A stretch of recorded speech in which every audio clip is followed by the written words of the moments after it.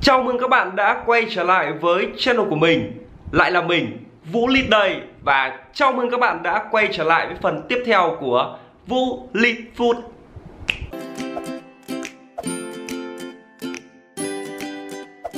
Hôm nay mình có mua một cái hộp bên Pizza Hut nha mọi người. Hộp này sẽ có giá là 179k Và bây giờ thì mình sẽ mở ra xem bên trong nó sẽ có những cái gì nha.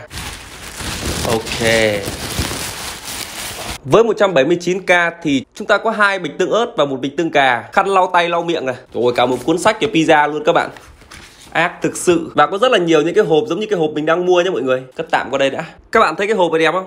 Nhìn như kiểu là cái áo ấy. Nhưng mà mình thấy nó hơi nhỏ các bạn à Để mình mở ra nhá.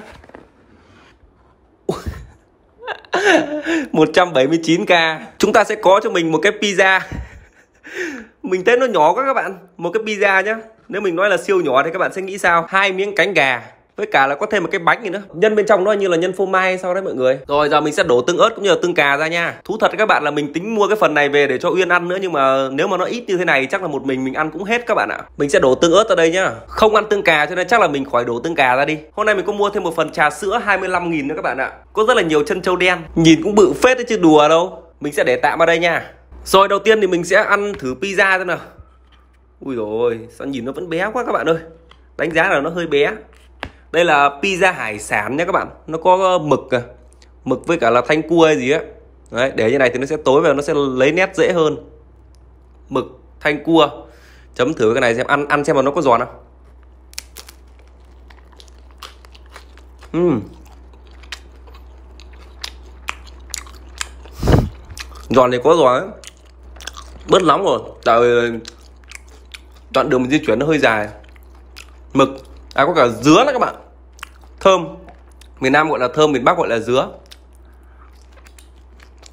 Uhm. không hài lòng lắm.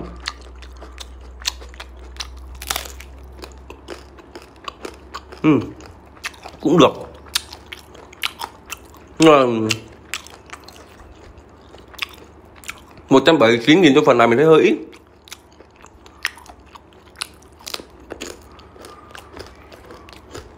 Có ai thấy giống tôi không? Ở đây có nấm này, hành tây, ớt Đà Lạt cũng như là có thơm các bạn ạ. À. Không biết là mực hay là gì. Ừ. Mực các bạn không? Mực không phải nấm. Có cả hành baro nữa. Ừ. Bên đây còn hơi giòn. Cho đi mọi người.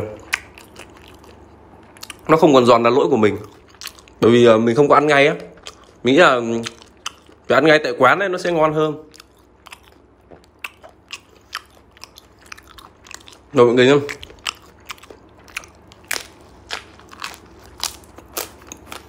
Uhm. theo các bạn đánh giá thì ờ, 179 cho phần này thì đắt hay rẻ? Comment nó dưới cho biết nha đi ra ừ, là pizza giòn đấy, cho nên nếu để nguội nó sẽ hơi cứng cứng ấy. Cũng được. Ăn nóng thì chắc nó sẽ giòn giòn như bánh tráng á.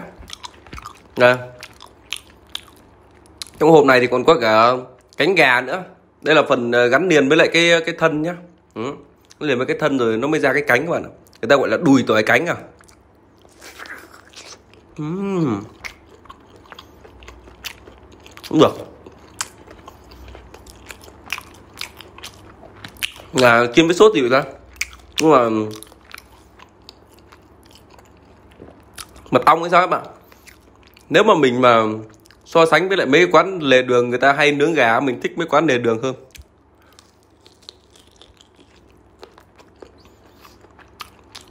Nhiều bạn đã chơi mình không biết thưởng thức nhưng mà mình thấy mấy quán lề đường ăn nó ngon hơn các bạn.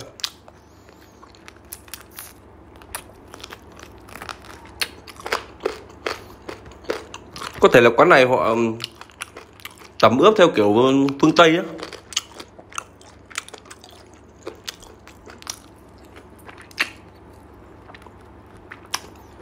Mình ăn nó không quen. Nó cứ làm sao á.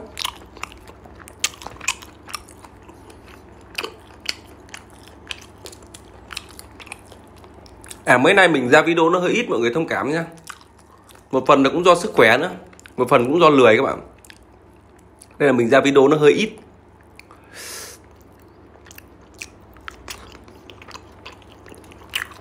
Cánh gà là phần con nhất là con gà rồi. Mình mà ăn gà rán thì mình chỉ thích một Bình thường mình đặt combo mình ăn được một miếng đùi một, một miếng ờ, cánh thì quá là tuyệt vời luôn.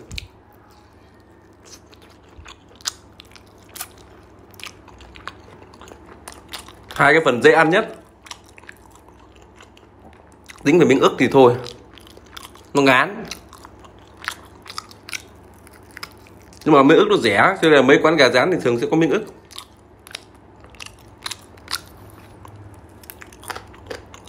Lần sau mình thử đi mua gà rán lề đường các bạn xem. Nếu các bạn muốn thì cứ comment trong dưới nhá. Mình mua gà rán lề đường mình mua toàn ức à, toàn à, cánh với lại đùi về mình ăn. Cho nó phê.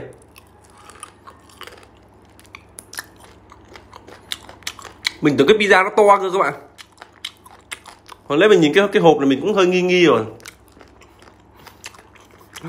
Nhưng mà cái pizza nó bé này thì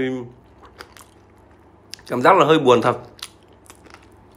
Có khi bữa nào mình phải mua một cái pizza to mình ăn.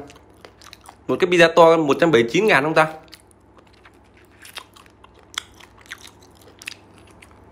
Tại cái này người ta tính thêm cả cánh gà, pizza, cũng như là cả cái bánh này nữa bánh này bánh phô mai à? Uhm.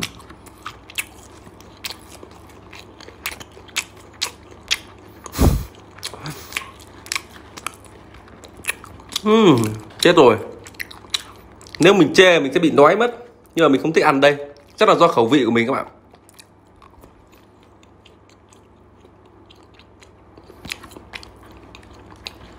Một phần mình không được ăn phô mai nữa. Phô mai đây hơi mặn.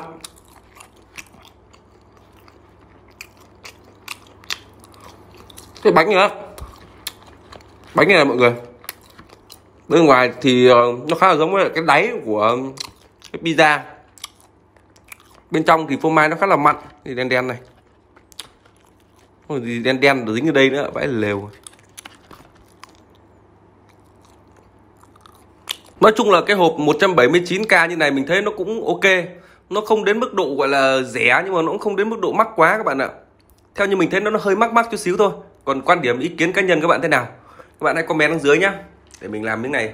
Này thì mua trà sữa ở lề đường các bạn ạ. Thôi là chỉ 25 nghìn là được nguyên một cái ly to như này. Uhm. Uhm trà sữa dâu.